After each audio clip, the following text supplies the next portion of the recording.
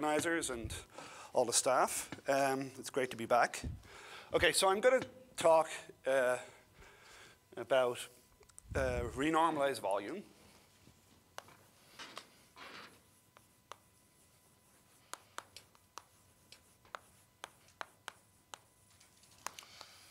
And the first part, I'm going to start by trying not to talk about renormalized volume and trying to avoid the definition to sort of make it um, sort of more presentable. So what's the object? So the object I'm going to talk about is we're going to have M is going to be um,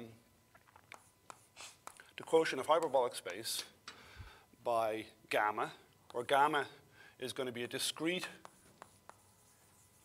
subgroup of the isometries of H3. So this is, this is going to be uh, our object. And so um, I'll put some qualifiers here uh, in a bit. But first, so there's a few geometric objects I want to describe. And the first is um, the limit set, L of gamma, which is you take the group gamma, you take any point, take its closure, and uh, you intersect it with the Riemann sphere. So, so I'm just thinking of hyperbolic space as being a ball with the Riemann sphere as a boundary, and so you've got some group acting, and it accumulates on the boundary.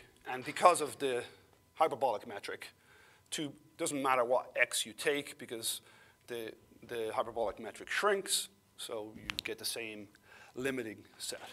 So you get some, some set on the boundary, which is, can be multiple components, it's sort of fractal-like, and so that's our first object. And the second is not the limit set, which is called the domain of discontinuity.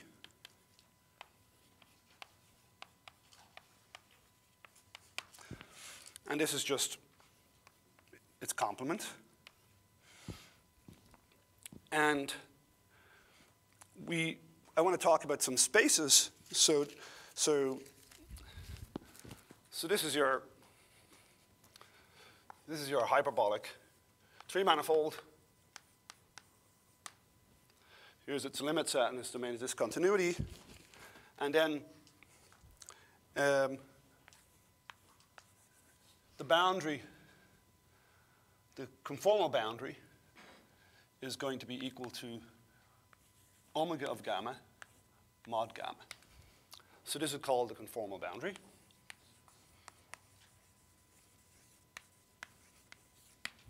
or the conformal structure at infinity. And we'll get to it in a little bit, but when you're dealing with um, the isometries of H3, which act by Mobius transformations, on the boundary, it's the, the Mobius group, it's just a, the Mobius group on the uh, Riemann, the Riemann sphere. And so you, any quotient this action gives you a conformal structure, and we'll see that actually the transition maps are not just conformal, they're Mobius. So they're, it's actually a stronger structure called a projective structure. So that's where the projective structures come in. And another geometric object that I've worked on for many years is the, the convex hull. So you, you look at this limit set, and then you just take this, take all the geodesics that um, join points in the limit set. In this case, you'd have, and you make a convex set out of that. So you take, this is the smallest convex subset of H3 containing L of gamma at the boundary. And actually, if you, if you know a little bit about hyperbolic geometry, we have many models. We have the, the ball model um, for hyperbolic space. We have the Klein model, which is just the regular disk where the geodesic planes are just Euclidean geodesic planes. So it actually, this convex hull actually corresponds to the Euclidean convex hull in, in the Klein model. So it's a very, a very natural object. And with this object, we can, um, we can take the core, which we can, because this is, L of gamma is invariant under the group, we can take the, the hull quotient with the group, and this is the convex core.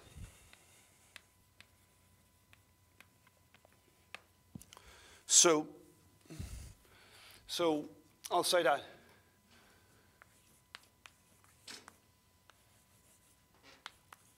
M is convex, co-compact, if C of M is compact. And so, um, and I'm going to define VC of M to be the volume of C of M. Such a natural object to study and might be considered some kind of renormalized volume. Um, you have this object, generically speaking, when the things we study will have infinite hyperbolic volume. The volume of this will be infinite if it's got conformal boundary. If it goes to the boundary, then it will be infinite. And so this, in some ways, chops off the ends to give you something finite. So let me give you a cartoon picture that you should have, that, well, you I, I need in my mind. So you've got hyperbolic space, and it's flaring out, and the hull kind of cuts it off to make the flaring ends be um, give you something called the core. And then sitting out at these flaring infinite volume ends, you've got boundary components.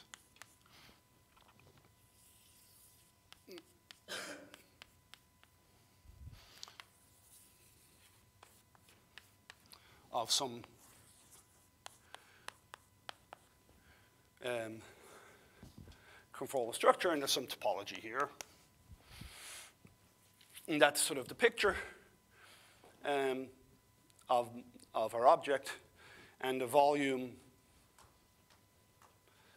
is the volume of this object here. Okay.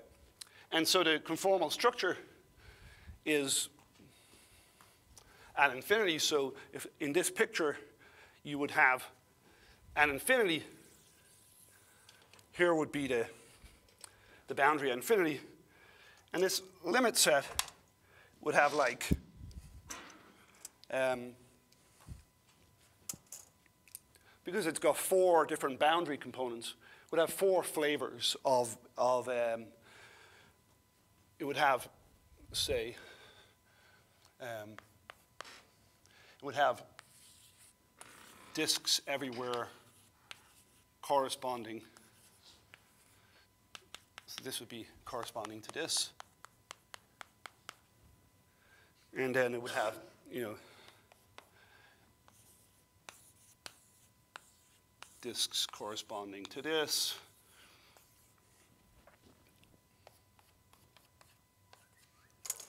And I think you get the picture. And hmm, there's going to be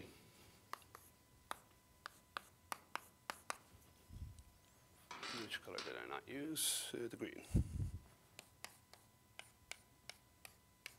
Okay. So that's, that's sort of um, our object. And um, So I want to talk about this object. For, for a long time in the subject, um, when we talked about what was a natural volume for it, this was the object we talked about. And I want to sort of argue that um, in some ways that that, that object um, is, has a sort of sibling that is sort of a, is a sort of analytic sibling that uh, much more useful for computation. Okay.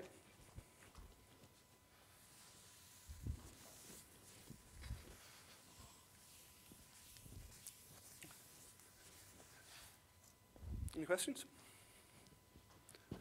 Okay. So, where is this sibling coming from? I won't give you, I'll give you the history maybe in a little bit. Um, but I'll try and introduce it kind of using some of the theory developed by uh, sort of the early, early, people who did the early work in this field, Schlenker, Krasnov, and Schlenker, and other people, who I'll, I'll mention uh, later when I get into the details. But, um, but what, I, what you notice is that this boundary is um, inherits a projective structure. So it has a, um, so, so it's a projective structure because, um, as I said, these little disks here,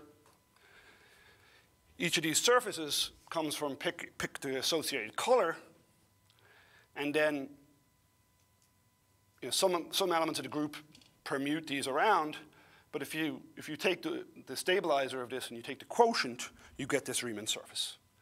But you don't just get a Riemann surface, you get quotient by Mobius transformation, so that's called a projective structure.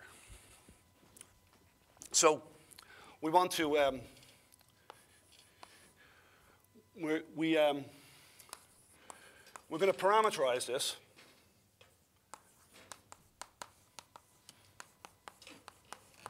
Um, by sort of what is a standard way to parameterize a, a projective structure by the Schwarzian derivative.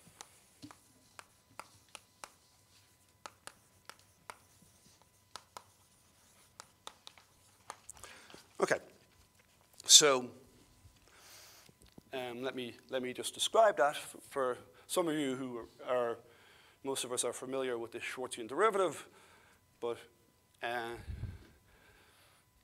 in this context, it turns out to be sort of a very natural object, and you see sort of why it's, why it's an important analytic object. Okay, so, so what, what, do, what do I uh, want to do? So, so we, we have x be a component of the conformal boundary. And so, um,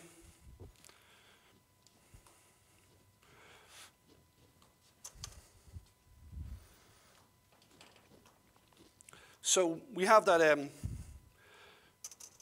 we have two ways of writing x. x is um, the unit disk, quotient out by some gamma naught. So this is the uniformization.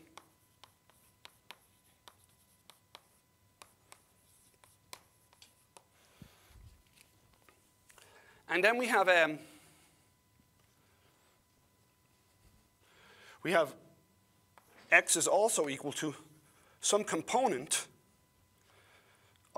quotient by some subset of gamma the stabilizer. So this is just one of these disks and the stabilizer of it. But the, it's a subgroup of um, of Mobius transformations. Okay. So, so what we get is we have a map F from the disk gamma naught coming from uniformization. So this is a and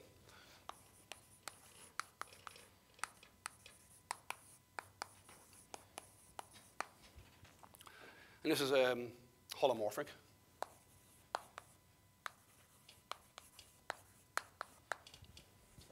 And so, and uh, um, F conjugates um, gamma naught to gamma prime. And I want to, um, so I define, um, I'm going to define um,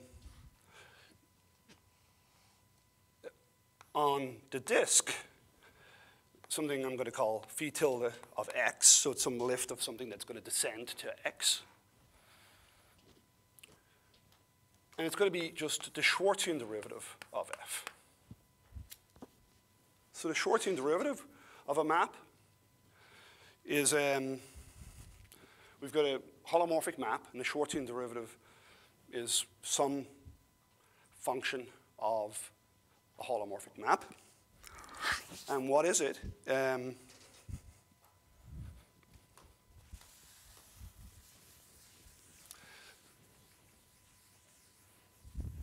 so what, what is SF? So this is the Schwarzian derivative.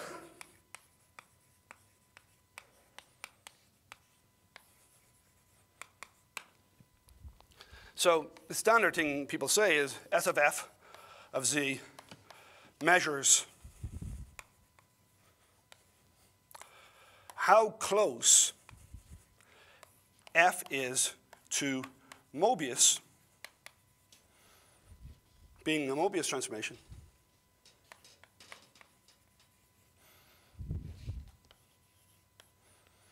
at z. So one way of doing this is that the Mobius group has is a three-dimensional space. Um, so you have three parameters to play with. So there's a unique Mobius transformation that matches f up to its 2 jet. So its value, its first derivative, and its second derivative. And so if you take that map that's your Mobius, uh, your osculating Mobius transformation. That's the Mobius transformation that.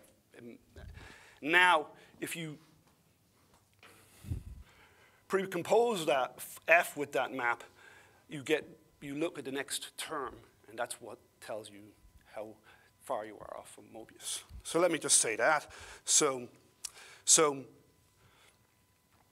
so we look at the, the limit as z goes to z0 of h after f of z um,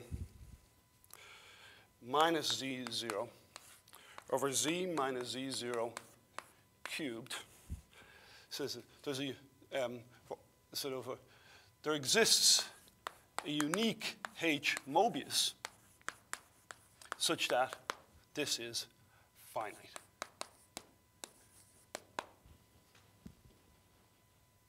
Okay? That's another way. And, uh, and this finite limit is, the finite limit is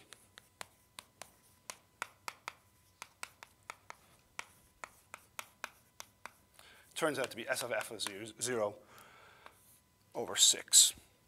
And, okay, so that's what it is. Um, and that's just what I said. You, you imagine how would you make this if you clear out the Taylor series for the first three term, two, first three terms using the, the parameters of the Mobius group, um, uh, you're, you, you will um, you will get what the H that makes that finite. There's a, a formula. So the, the, the, issue with the Schwarzian derivative, and one of the reasons why um,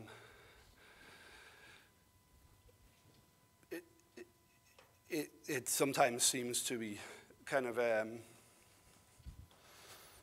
doesn't, is not uh, used so much is that often it, it seems like the, the formula for it seems kind of somewhat unmotivated, but if you write down the formula, which you can get as the definition, it seems um, pretty um, complicated.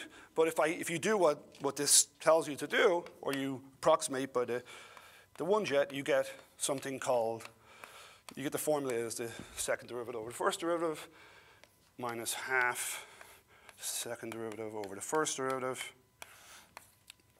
oh, squared. And um, so that's the formula. And generally, um, it's natural to write dz squared because it actually gives you a quadratic differential on the disk. So this object here is this Schwarzian derivative, which is a quadratic differential on the disk. And what is it? It's a quadratic differential that um, is somehow telling you how far these disks are from being round disks. And a round disk in this picture would mean that that boundary component was just a geodesic plane. So, okay, so this descends to some phi and our phi sub m, and it's a quadratic differential on the conformal boundary. So thank you, Misha, uh, for your uh, description of quadratic differentials, and that, that will helps with this uh, introducing these things. But this, is, this gives you a quadratic differential, and this, this object is sort of a natural analytic object that comes along with the definition of a hyperbolic manifold. Okay. So, so one thing to, to note that, that um, Misha described Teichmüller space today as, um, and I want to say that if you look at the space of quadratic differentials on a Riemann surface, this is isomorphic to the cotangent bundle of X to Teichmüller space of a surface. So you have some surface, you get some conformal structure X on it, so it's a point in Teichmüller space. The space of quadratic differentials is exactly the cotangent bundle. Okay. Okay.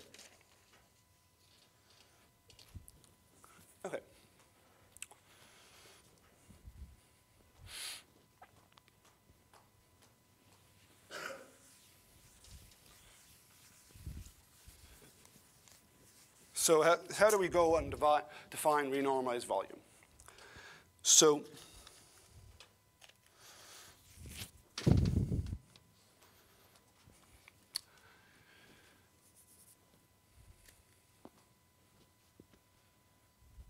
So what I, the first thing I'm going to do is think of, so we're going to take, that be n is going to be a, a compact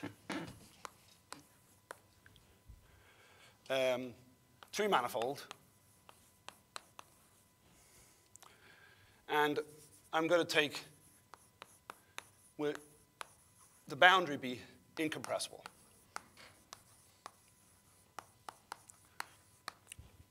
That's just a topological condition that I'm going to need. Um, we could do it without it, for, but I'd have to change some definition, some statements. So I'll just, this is sufficient for our purpose. So I'm going to define Cc of n. What is incompressible? So the, there's no, the, it's pi 1 injective. The boundary is pi 1 injective. So, in fact, the picture right there would be misleading if that was, because if it's pi 1 injective, then all the boundary components lift to disks. Otherwise, they wouldn't be disks. They'd be topologically something else. So, so I'm going to look at the space on this. This is not a hyperbolic manifold or anything like that, but I'm going to look at the space of convex co-compact structures on this compact three manifold. So it's going to be the set of all M, uh, which are convex co-compact structures on the interior of N. So if you recall the picture I had there, you had some flaring ends and you had, you had some, it had some underlying topological structure. That was one point, but we can imagine as we vary, uh, we could have a whole variety of uh, such hyperbolic structures. So we, we have a, a theorem Um, yes. But it's compact, so it would have no boundary then, right? It's, this, this has, well, I'm just going to tell you what it, what it is as a topological space. So it's, it's, it's, it's, the, it's equivalent to the Teichmüller space of its boundary. So yeah, so, so, right, so, so we have that the, for, the boundary n is incompressible, then C, C of n is, is just the Teichmüller space of the boundary. And the map is you send M to the conformal structure. Okay? So that's your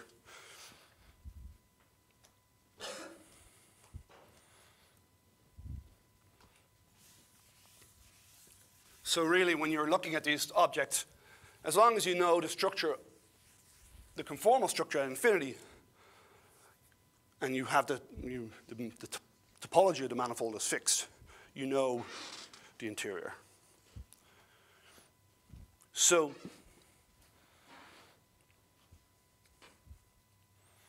so what we have is that, so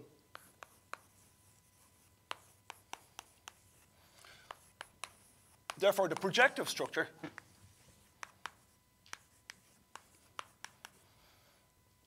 On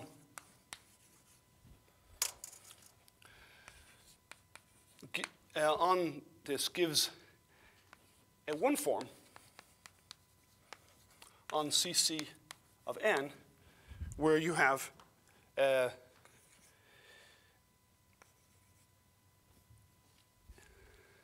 At m, this one form is phi m, which is an element of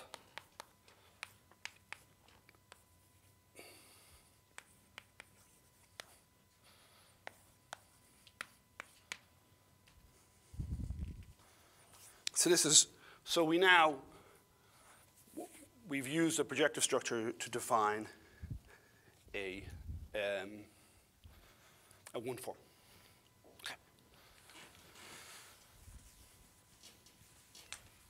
Okie doke. So what's the point? So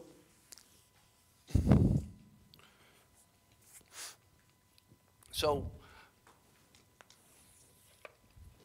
VC, the convex core volume, is a function from uh, it's a volume of an object, so it's a function from, uh, from sorry, this is supposed to be cc, cc of n. So I take my m, I take its core, I take its volume. So I get a number.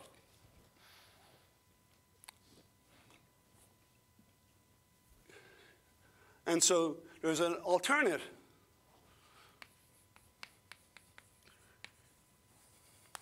analytical object called VOR, renormalized volume. A priori, it's just into OR. And this is um,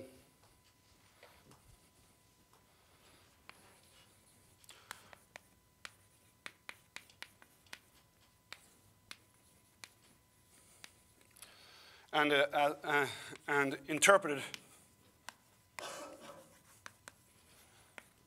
by Krasnov and Schlenker. I may have time to get into the details of it. Um, Graham and Witten describe a way to take a Einstein manifold that is conformally compact, i.e., there is a conformal structure at infinity, and using that conformal structure to um, remove a neighborhood of the flaring ends and get a finite volume. So that's where it comes from. Which flat Einstein or any? What? For, for which Einstein manifold? I mean, flat or any negative? I think it's, um, I don't know if it was all negative, negative curved Einstein manifolds or just Einstein manifold, I'm not sure. We had conformally compact Einstein manifolds, I think. Hyperbolic space conformally compact? Yeah, the, the conformally compact ones, we, the, the conformal boundary conformally compactifies it. Martin, the, the one, the Borelli differential you get is the difference from the hyperbolic, the Fuchsian structure and the. Yes. So it's, it's, it, so yeah, so it's a, so after studying these objects for a long time and working with convex hulls and convex cores, um, myself and Dick did a lot of work on these and um, this renormalized volume was much more, is a more recent phenomenon, but it, in some ways it allows you to, to tackle hyperbolic, um, studying these objects which, with, with a little bit of um, some analytic tools. This volume here is continuous, but it doesn't have differential properties that are particularly nice. Um, so so it, it, it doesn't lend itself to analysis. This does, and these two seem to, as I'll hopefully describe, they sort of track each other. Okay, so here's um,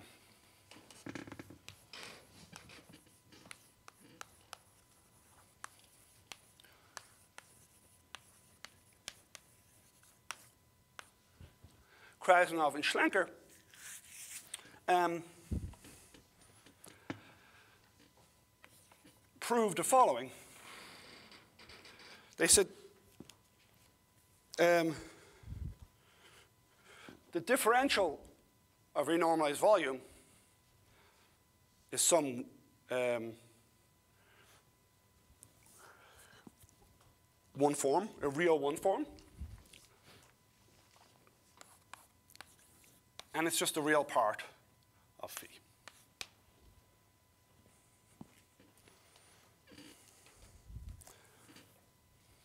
So, so if, if you want to think of this in terms of um, if you're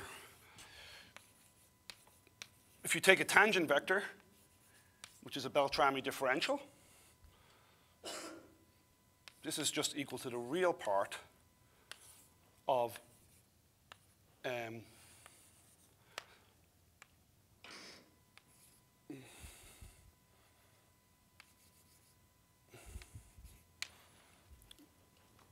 the real part of the pairing between this complex one form and this Beltrami differential.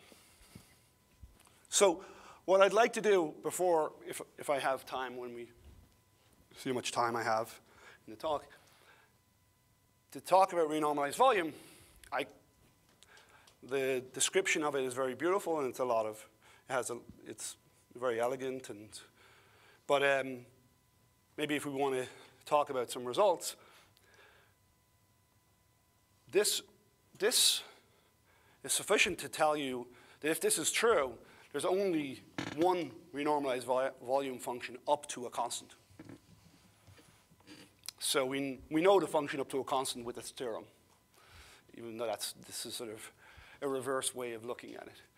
And if we have a, if we're in a situation where our manifold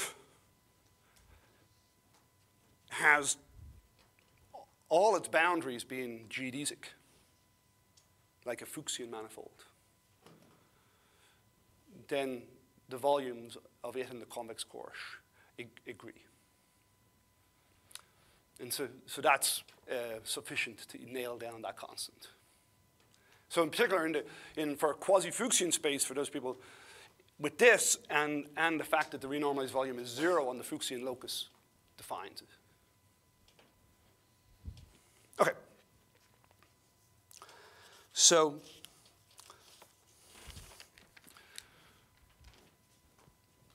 Okay.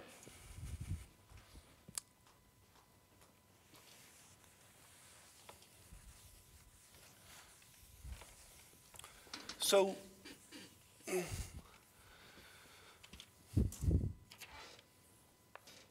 so the first fact.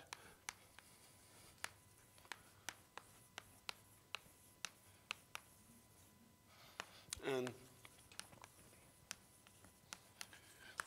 was originally due to the um, Krasnov Schlenker in the um, quasi-Fuchsian case, and then me and Dick, sort of in studying things with compressible boundary, um, sort of wrote down a general formula for, for with M incompressible boundary, then the volume of the core minus 10 times the Euler characteristic is less than equal to the renormalized volume of M, which is less than equal to the volume in the core of it. So this says that the renormalized volume and the convex core volume um, are boundedly related. So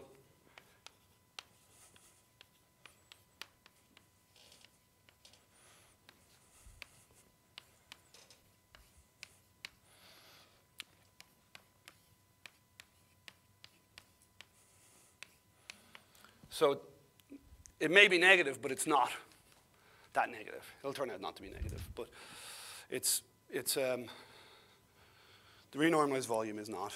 Um, okay.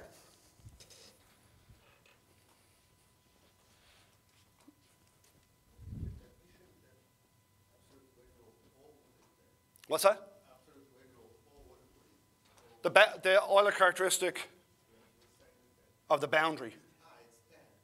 10. This is 10, which looks, I should put 9.135 or something like that. It's not 10. It didn't turn out that we. it's, it was exactly 10. Um, it's just some number. It's, but they're, they're quasi-related. But this thing varies analytically and nicely, and so um, we're going to get pretty sharp information about the convex core from the renormalized volume. Okay. So another tip of the hat to Misha, um, the Weil-Petersson metric metric plays a part here. So we have the, the co-metric. The co-metric says that on, um, if I'm in Teichmüller space at a structure X, and I take, which is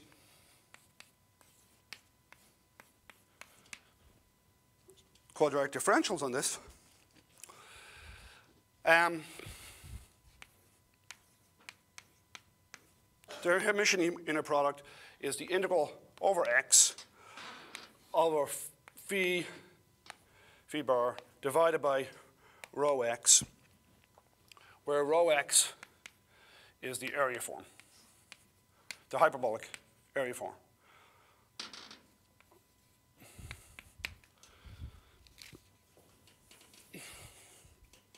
Okay. And so in particular, we have the norm, I'll just call it the L2 norm, but it's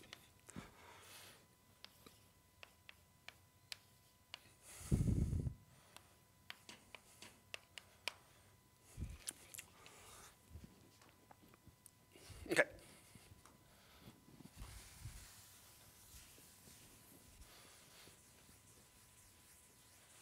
Okay.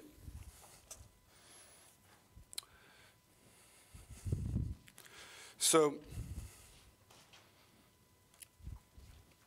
so let's, um, right. Um, so what we study is we introduce um, um,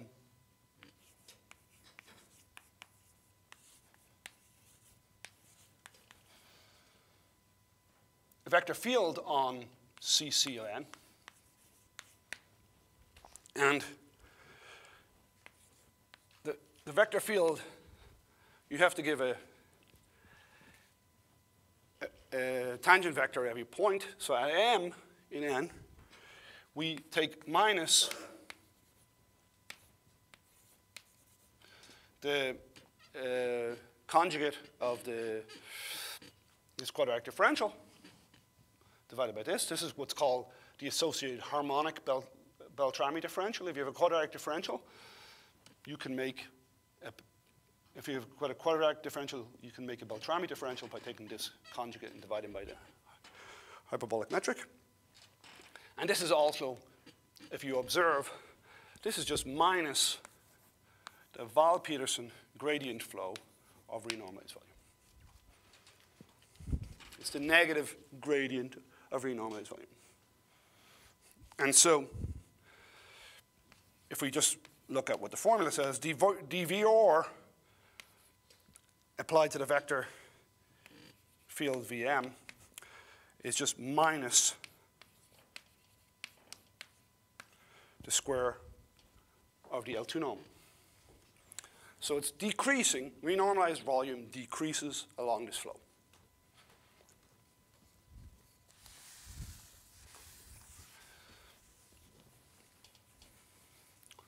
So with that in mind, what have we done? We looked at the space of convex co-convex structures. We observed that there's a projective structure on the boundary. We took the quadratic differential associated with that, and then we took its um, its uh, the associated Beltrami differential, the, the associated harmonic Beltrami differential, the negative of it, and we get a flow. And this flow is, by definition, the Weil-Petersson um, negative of the Weil-Petersson gradient flow of. So, so in some ways, when you're seeing some very natural constructions where this phi, phi of m just came, came with this, the things we're studying, and VR happens to be given in terms of this, in terms of differential of this. So when we study this object, we're studying renormalized volume whether we know what it is or not. Okay. So I want to denote some objects. So VC of n is going to be the infimum of VC of m over all m in CC of n. So this, the infimum of the convex core volume and V or of n is going to be the infimum of V or of m, the same. And then finally, I'm just going to put Vs of n is going to be the simplicial volume. So if you have a topological manifold with boundary, you can take its Gromov norm by doubling it and then halving that. So this is just half the Gromov norm of the double of n.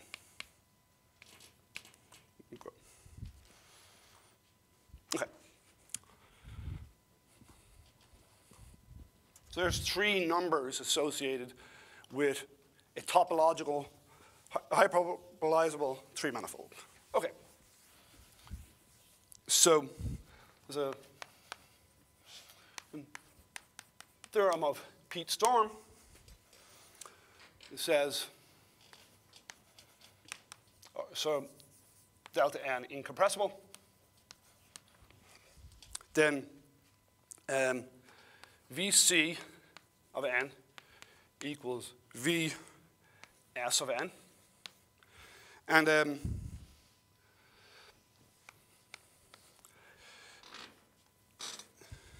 and the infimum is attained um,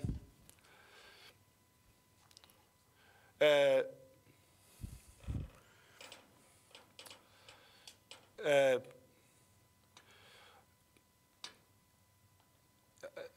if um, oh let me just say put it oh so, so yeah so um, yeah. Infimum is only attained if n is acylindrical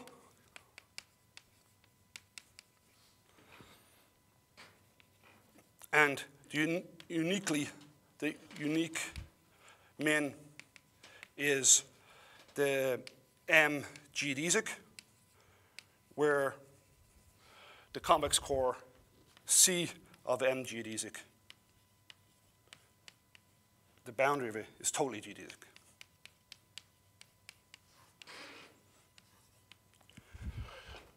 That can be attained here, or two, n is just a surface cross an interval. This is the quasi-Fuchsian case. And at um, the Fuchsian locus.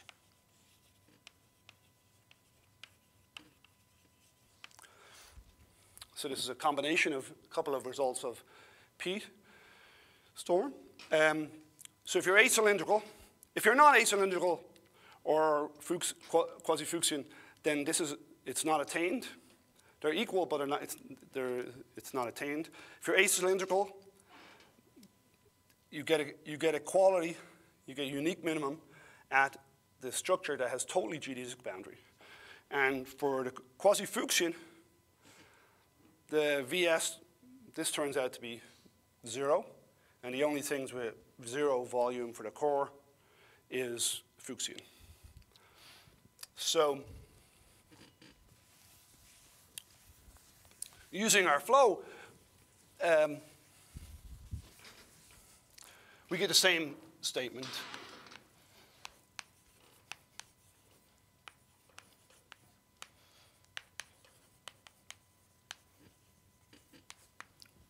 Um, that, uh, yeah, did I, where did I write? Um, did I write it? Okay. That I get um, VC, V or of n is equal to VC of n is equal to Vs of n.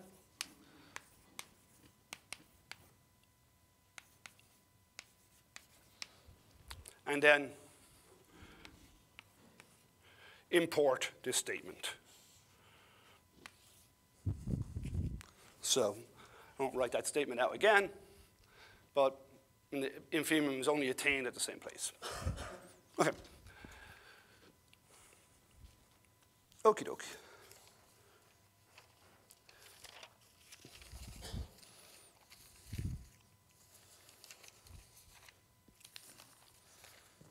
Okay. So let me um,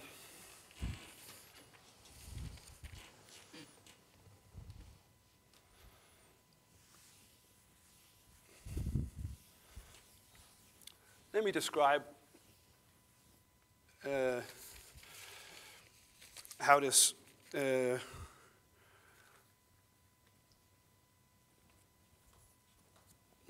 how this, how this works. So, um, so the idea is that, well, flow V um, for um, along, along flow lines, m sub t, and we make some observations. Um, so one observation is that uh, the flow exists for all time. So, um, so this flow, when you're doing a flow, you may not know whether you can continue to flow, but um, because this flow using a standard bound from complex analysis on Schwarzian derivatives, you can show that this flow is bounded in the Teichmüller metric, which is complete, and therefore um, you can um, you can flow for all time, and so the path, the time paths of a flow are infinite. So we observe that VR is bounded below. And so if, we, if we're on a path, so the change in along a path um, is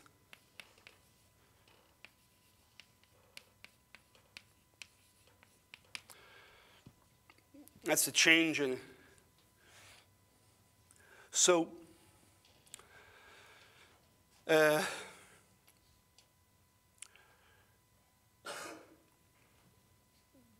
this object, this integral um, must exist because this is, this is um, finite. So this means that in here, this function, um, it's bounded below by that 10 times the Euler characteristic. So this means that this function inside must um, must go to zero. So we can extract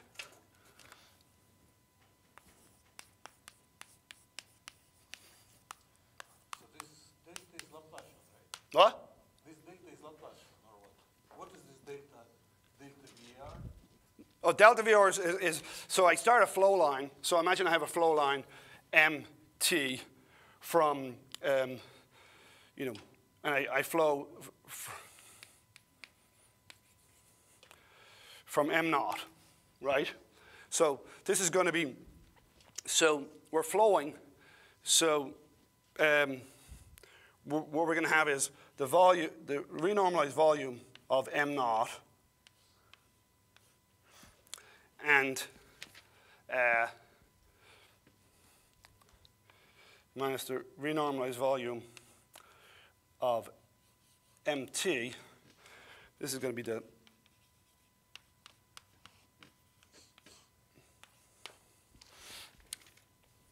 it's going to be the limit of that into. Now this is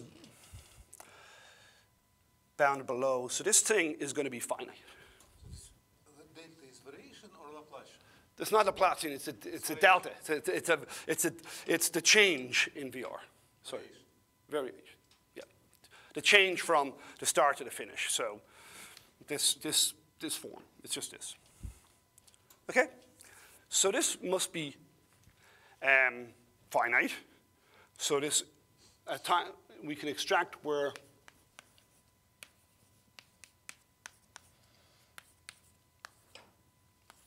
The square goes to zero, it goes to zero, it doesn't matter.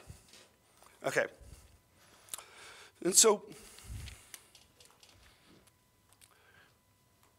there's a, a lemma we prove, and it says that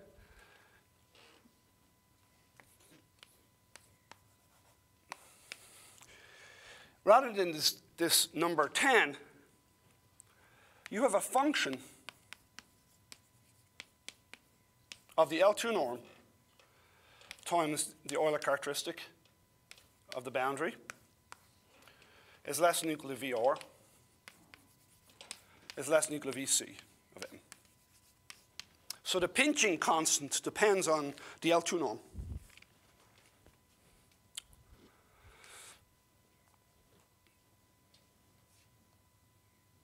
So as this T, this L2 norm goes to zero,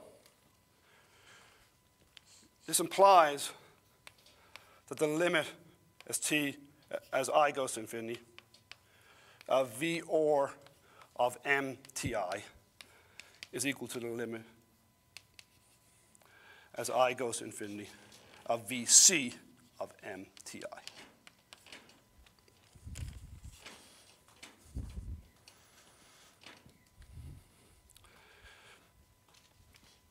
So, so in particular, so you start at some renormalized volume, you go down, and the limiting value you get to is also a value that you can get to by taking a convex core. So this says, this implies Vc of n is less than equal to v, v or of n.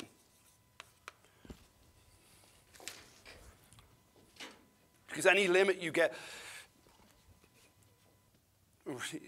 yeah, any VR of m is, well, the starting point, VR of m naught, is bigger than VR of the limit, which is equal to a limit of a VC. So you get that. And the other inequality follows from taking imps of both sides of this gives you the other side. So they're pinched and they're equal in the limit. And then we, uh, we just, as I plugged in Pete, we just plug in Pete because the rest of it follows from Pete stuff. Okay. So, any questions? Okay.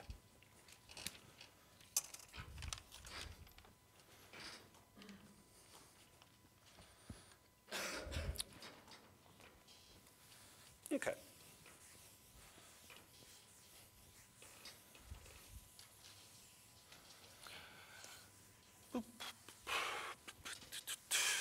Okay. So, one of the early reasons for, apart from when, when renormalized volume first arose, was um, uh, out of, coming out of work at Krasnov Schlenker, um, Kojima and McShane were sho- showed how you could relate um, renormalized volume. You could use renormalized volume to get bounds on volumes of closed hyperbolic three manifolds. So let me talk a little bit about that. So.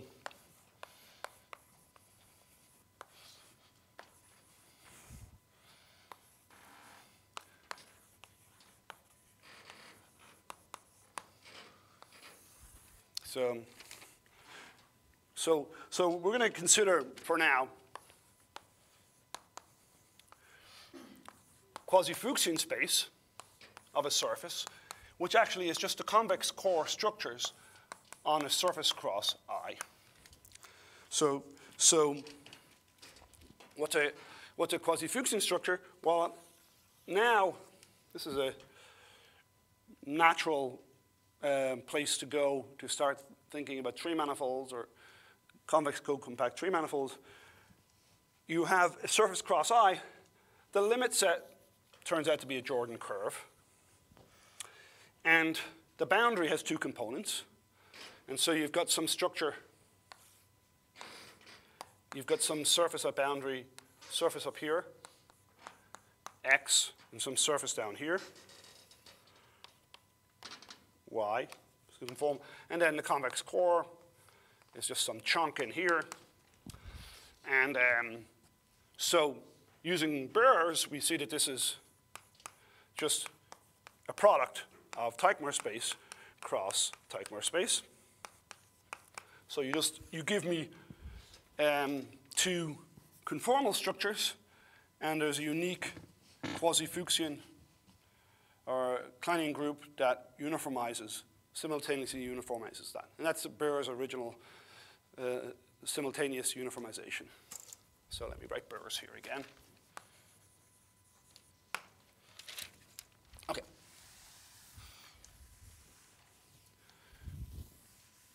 So, um, so what I will, I'll, if I have a pair xy, I will say that, define that as qxy as an element of Q, the quasi-Fuchsian space of S.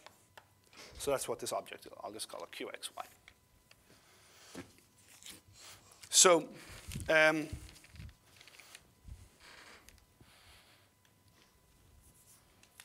so,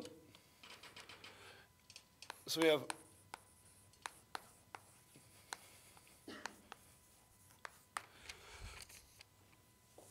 So what Schlenker showed was the, the renormalized volume of Q of xy was less than or equal to, and I might get the constant off by half or something.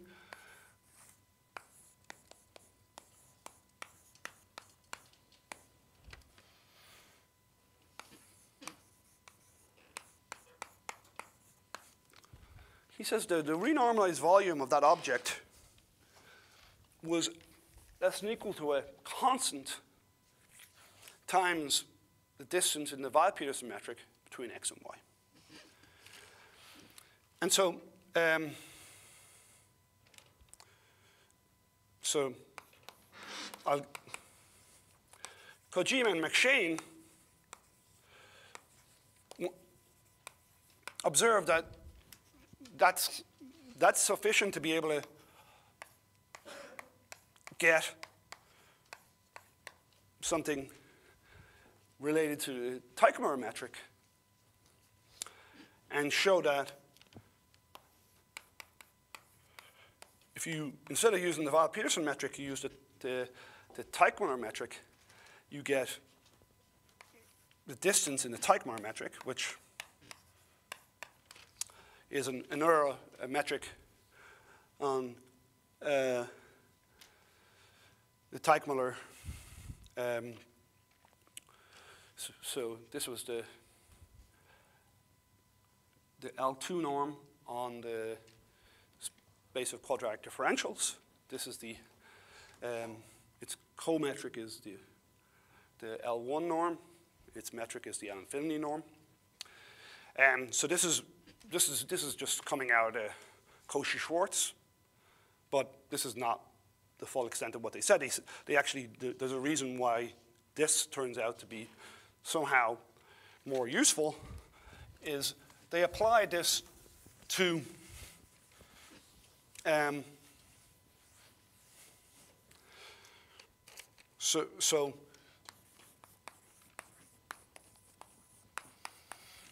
this is applied to mapping tori. So, you had, so if you had a map from a surface to a surface that was a pseudo Anosov, pseudo Anosov map, then its mapping torus, which is S cross I mod the equi equivalent of x0 with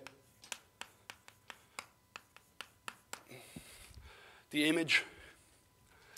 This is a hyperbolic manifold, closed hyperbolic.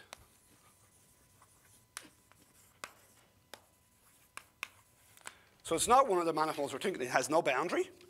It's, uh, it's, got a, it's, got a, it's compact. It's got finite volume. And we have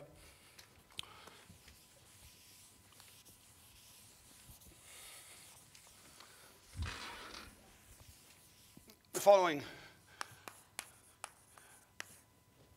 beautiful result, which um, was observed by Kojima McShane.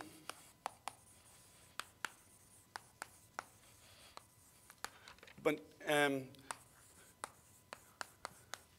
but also um, by Bromberg and Brock Bromberg, who one of the, one of the analytic parts of the proof required their work, and uh, so what you what you get is that the volume of a mapping torus is less than or equal to 3, ti- 3 pi times the Euler characteristic times the translation distance of a pseudo-Anosov uh, with respect to the Teichmüller metric. And similarly, you get the same thing for the Weil-Petersson metric.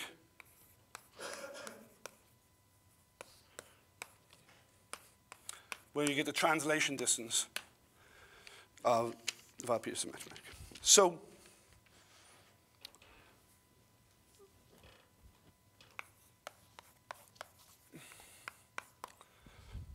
for people, so people who are interested in closed hyperbolic manifolds,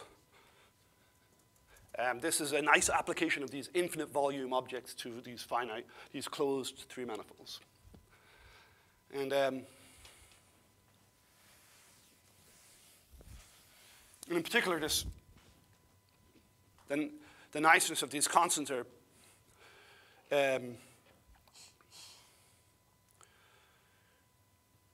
well, it's, it's, it's particularly striking here that this is almost close to what you might imagine by having some product structure where you have 2 pi times the Euler characteristic being the area of this of the surface times the translation distance. So you have this mapping torus. And you have this pseudo Anosov. And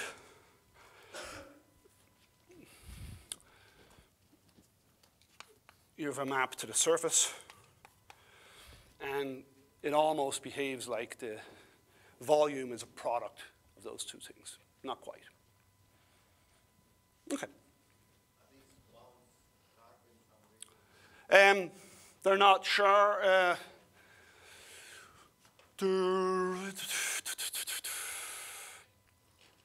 I don't think they're sharp. Um,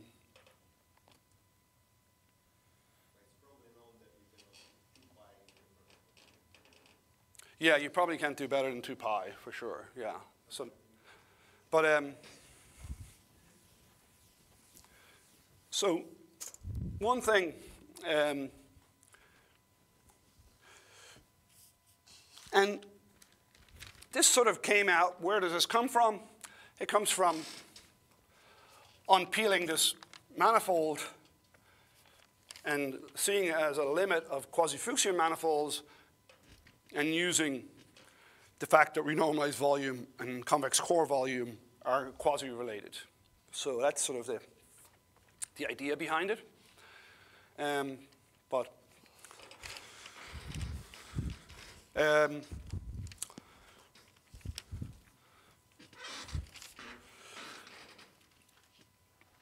so it turns out, so you can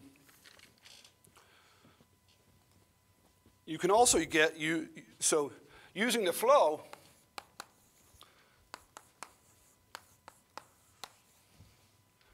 um, V, we obtain lower bounds.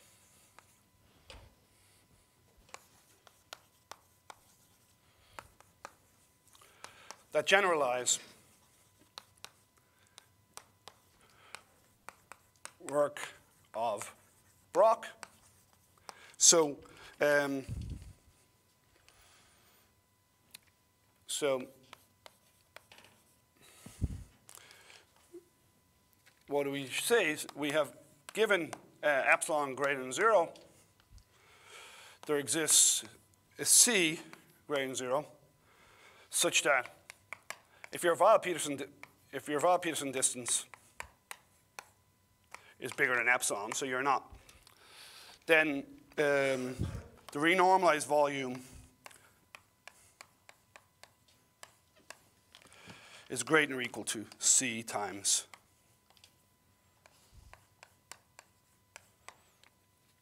So, so you, um, you could also put this in as a, we could put an epsilon um, parameter in here and have it as a, a, a c times this minus epsilon or something.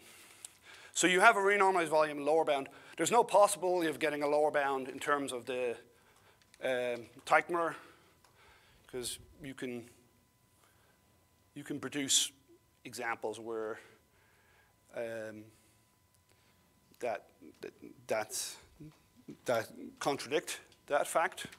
So Weil-Petersson in some ways is more natural when you want to study sort of quasi-relation between renormalized volume and distance. And, um, and this, in particular, um,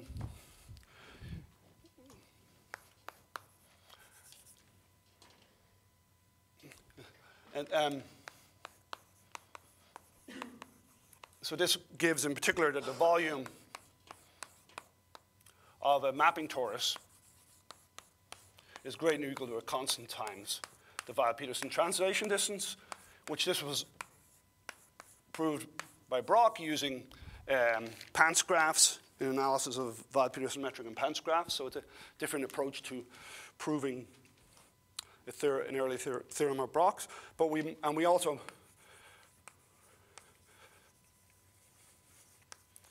more generally, we can prove that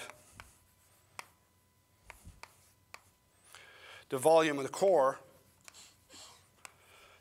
it differs from the volume of the geodesic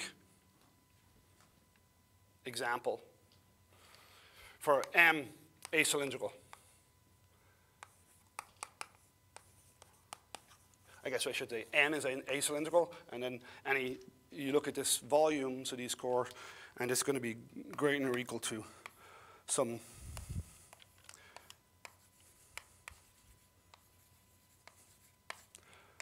minus some epsilon. Okay, so you, you get some um, relationship between the Weil-Petersson distance to the totally geodesic object and, and that. So that doesn't follow from Brock. Okay, so I'm pretty much um, out of time. But the idea on all this is that the, let the flow do the work for you. And some of, the, some of the properties of the flow are just that it decreases renormalized volume. And, but then as you get into a little bit more detail, uh, studying this flow requires a little bit more of an analysis of the, the, the geometry of the convex core, the set of convex core structures. Okay, so I'll stop there. Thank you very much.